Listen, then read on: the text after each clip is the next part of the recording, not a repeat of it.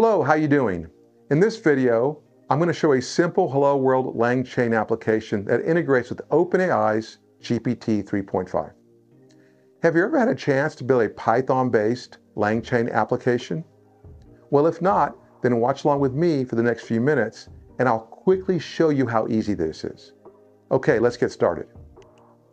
LangChain is an open source framework for building applications based on large language models.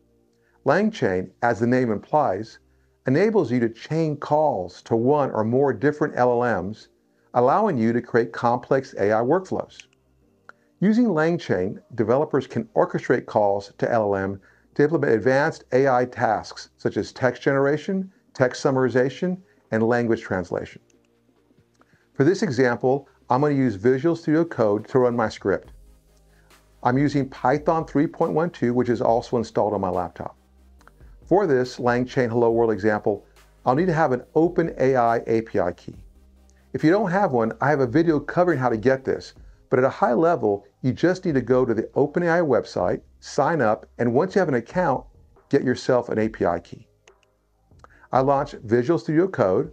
I now need to do a pip install on the LangChain package.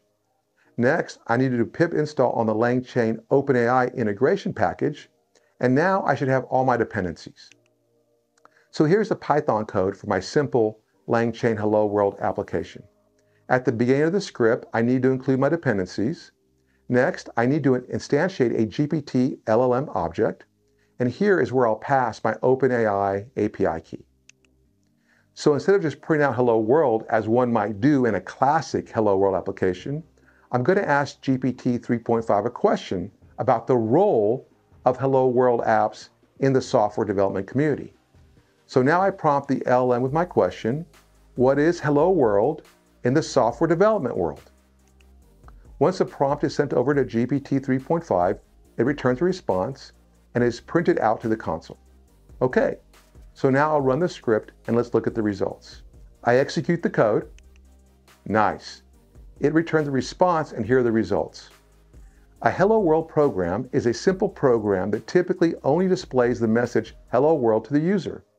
It is often used as the first program that someone writes when learning a new programming language or environment, etc., etc. Okay, that was easy. So now you can see how straightforward it is to create a simple Hello World LangChain application.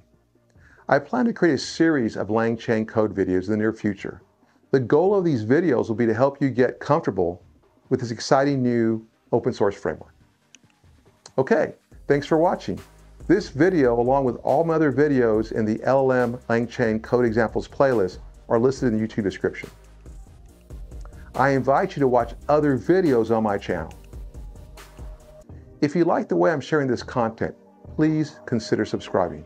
When you subscribe, this helps my channel grow. One last thing, we all love technology and we're all excited about all the innovation in the cloud and machine learning AI. But don't forget to carve out some time to live in the real world. Go outside, go swimming, go hiking, go climbing, go surfing. Get out and move your body.